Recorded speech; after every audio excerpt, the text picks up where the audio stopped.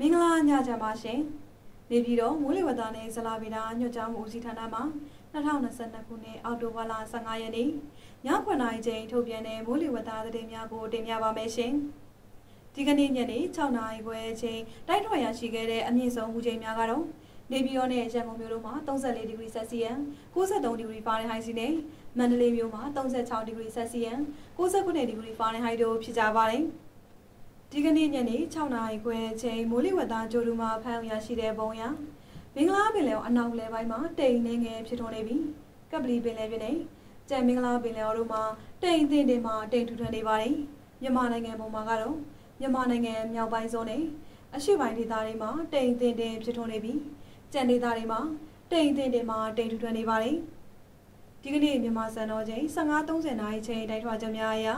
လာအိုနိုင်ငံပေါ်သို့ရောက်ရှိခဲ့တဲ့ကုန်းတွင်းမုန်တိုင်းငယ်ဟာ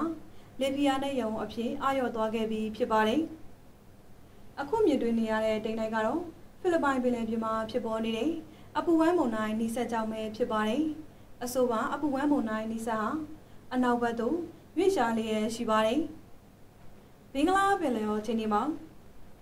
ဘင်္ဂလားပင်လယ်ော်အနောက်လယ်ပိုင်းမှာတိမ်နေငယ်ဖြစ်ထွန်းနေပြီးကပ်ပလီပင်လယ်ပြင်နဲ့ ကြံမင်္ဂလာပင်လယ်တို့မှာတိမ်တင်တင်မှာတိမ်ထူထန်နေပါတယ်မြမပင်လယ်ပြင်မှာလိုင်းတင်တင်ရှိပါမယ်လိုင်းမြမမြမကံရန်တရှောင်းနဲ့ကံလုံးပင်လယ်ပြင်တို့မှာ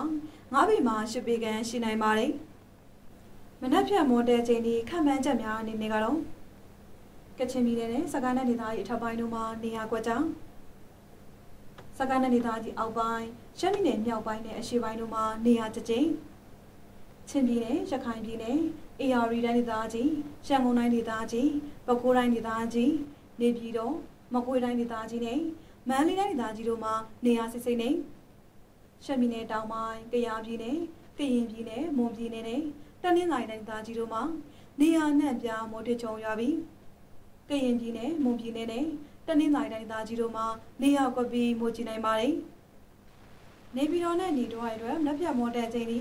မိုးလေဝသအခြေအနေခန့်မှန်းချက်မှာနေရာကွက်ကြားမိုးတိချုံရောက်ပါမယ်။အနိမ့်ဆုံးချိန်မှာ24ဒီဂရီဆက်စီယန်85ဒီဂရီဖာရင်ဟိုက်ရှိနိုင်ပါတယ်။ရန်ကုန်မြို့နယ်ဤတော်အိုင်အတွက်လက်ပြမော်ဒယ်ချိန်ဒီမိုးလေဝသအခြေအနေခန့်မှန်းချက်မှာလေနေရာကွက်ကြားမိုးတိချုံရောက်ပါမယ်။အနိမ့်ဆုံးချိန်မှာ22ဒီဂရီဆက်စီယန်82ဒီဂရီဖာရင်ဟိုက်ရှိနိုင်ပါတယ်။မန္တလေးမြို့နယ်ဤတော်အိုင်အတွက်လက်ပြမော်ဒယ်ချိန်ဒီမိုးလေဝသအခြေအနေခန့်မှန်းချက်မှာလေ နေရာကွက်ကြားမိုးတိချုံရောက်ပါမယ်။အနိမ့်ဆုံးမူချိန်မှာ26ဒီဂရီဆက်စီယန်89ဒီဂရီဖာရင်ဟိုက်ရှိနိုင်ပါတယ်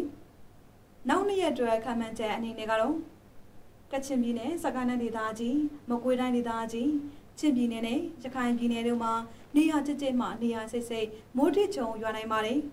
။အခုတင်ပြခဲ့တာကတော့ဒီကနေ့ည9နာရီချိန်ထုတ်ပြန်တဲ့မိုးလေဝသသတင်းများပဲဖြစ်ပါတယ်။ကိုစိတ်နှပြကျမ်းမာချမ်းသာကြပါစေရှင်။